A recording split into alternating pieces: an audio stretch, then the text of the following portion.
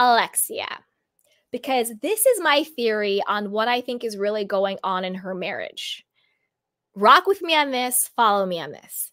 So, as we all know, yes, Alexia is very obsessed with image and what people think in the persona of herself and her family and her relationship. Well, okay, duh.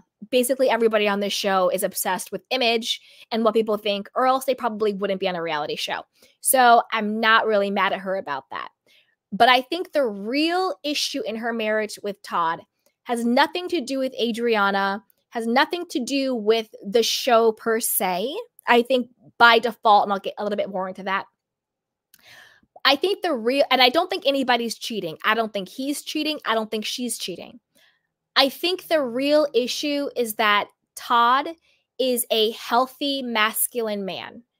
I think he's very emotionally intelligent. I think he has really effective communication skills.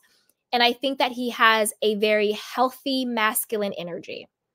He seems to me like a very healed, healthy man. On the flip side of that, Alexia, in my personal opinion, is very much in an unhealthy, dysfunctional, codependent relationship with her sons, primarily Peter.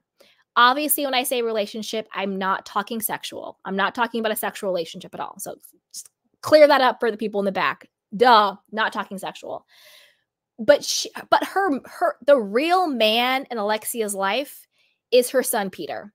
Yes, we know Frankie. Yes, we know what happened to Frankie. Yes, we know he he, he is now is more um he has more needs. I totally understand that. I get that. But the real person that Alexia is married to has always been her son Peter. Always. She has always enabled him. She's always coddled him. She's always supported him. Um, even when he got caught, with, he got arrested for um, fighting his girlfriend physically fighting his girlfriend. Alexia was defending him. Oh, there's two sides to every story. She's really crazy, blah, blah, blah, blah. It's like, this is the same son who um, fought a homeless man. Remember, her son had fought the homeless guy and got in trouble with it? You know what I'm saying? And then also, what's also very telling is Todd foreshadowed her son Peter going to jail. He was like, if you don't stop, if you don't change your ways, you're going to get arrested. You're going to end up in jail and then it happened. He got arrested and ended up in jail. And then also last season, Todd was very clear like, you need to give Frankie the tools to be more of an independent man. Like, yes, you're doing a lot for Frankie, but you're doing it in a way that's actually a disservice. I know he had, you know, his injuries, but people with brain injuries or disabilities, they still can become as independent and as you know empowered as they want to be they don't have to be coddled and enabled in a certain ways and i actually think frankie kind of wants more of that remember at the very end of last season he was getting enrolled in the program to help um you know adults who have those types of disabilities and challenges be more independent as their parents you know get older as their parents pass away trying to get them more equipped for the world to, you know, take care of themselves, yes, with support, but to be more independent because you can still live a fulfilled life, you know, with all of that stuff going on. But she so clearly is in a very toxic, unhealthy, dysfunctional, codependent relationship with her sons. Her man is Peter. Her man, her husband is her son. That's why Todd was disgusted when she was at the dinner talking about, um, oh, he's moved closer to us now. And I'm really excited about that because I really want to go buy him groceries. And Todd looked like he wanted to throw up. And he was like, You do know he's a 30 year old man, right? Why are you buying your 30 year old son groceries? This isn't like um I'm popping in for the in, in town and I want to buy my child something nice because I'm visiting them. This is clearly an ongoing issue and an ongoing problem.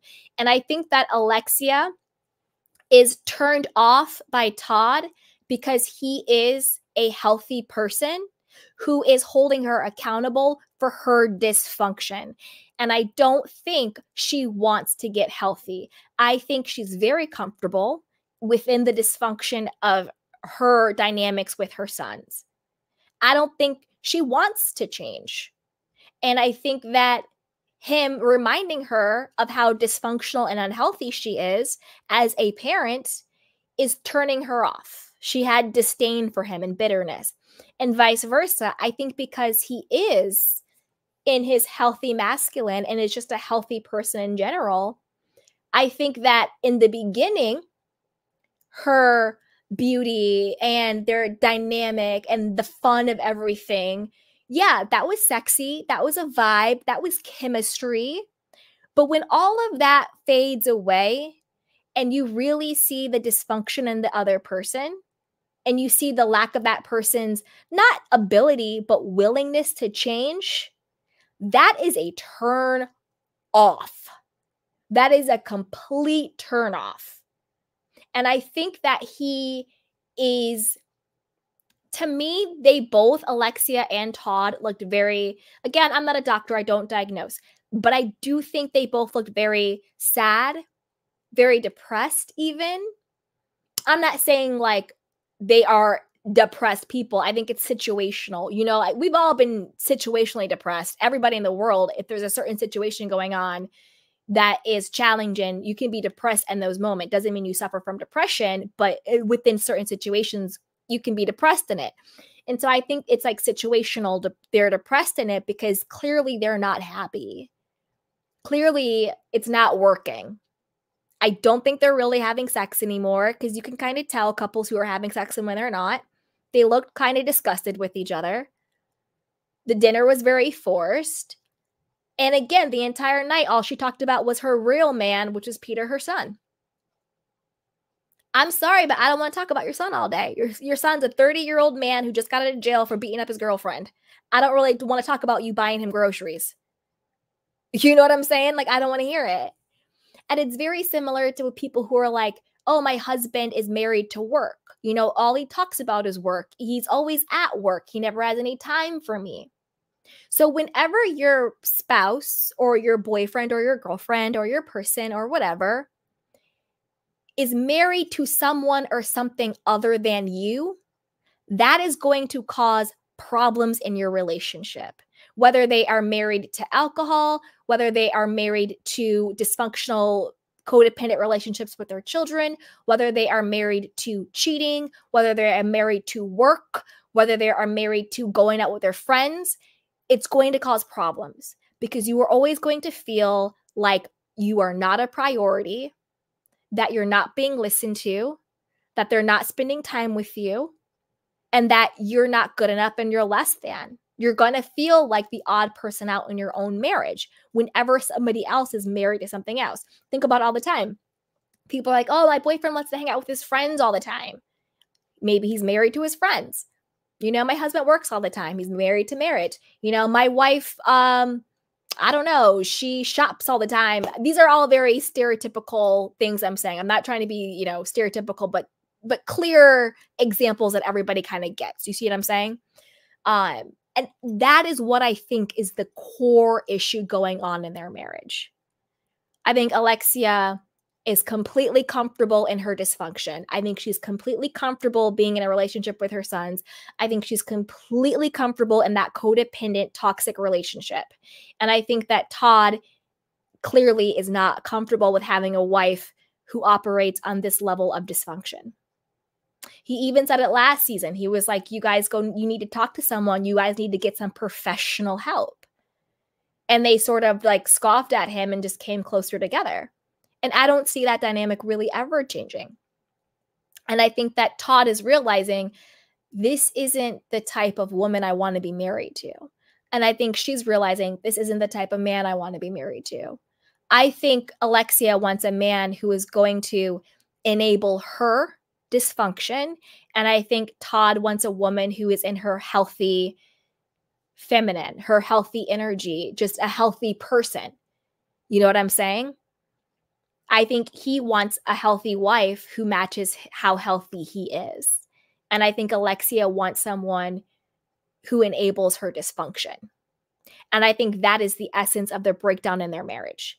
And I also think that he was embarrassed for how out of pocket he got because I do, I personally really do like Todd, but I didn't like what happened last season with um against Dr. Um, Nicole's husband. I forget what his name is. But that to me was really weird. You know, going and then they did some social media beef and all this stuff. And then Todd did this weird, you know, super long video apology that was just really weird and bizarre. And people were kind of clowning him for that. I think he's embarrassed how caught up he got in the TV drama and how ca- caught up he got in all of it. So I think that the core problem with their relationship is what I just said. But I think the reason why he didn't go to the dinner was because he's embarrassed. Because you can be a healthy person and still, you know, embarrass the hell out yourself. You know, I'm a pretty healthy person, but there's still times where I'm like, Candy, get your get your life together, girl. Like, what the hell are you doing? Like, you know better than that. Stop. So I think that's a moment he had. I think he kind of got caught up and kind of got out of character and he probably feels a little bit embarrassed about how caught up in the reality world game that he was in. And I think it was more ego and being embarrassed about all that stuff, the social media and the apology and how he acted. I think that was like the real reason why he didn't show up.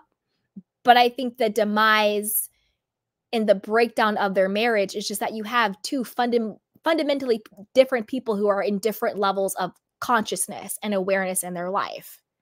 So that's what I really think is going on with Alexia and her husband, Todd. I don't think there's any cheating. I don't think it's about necessarily anybody on the show in particular.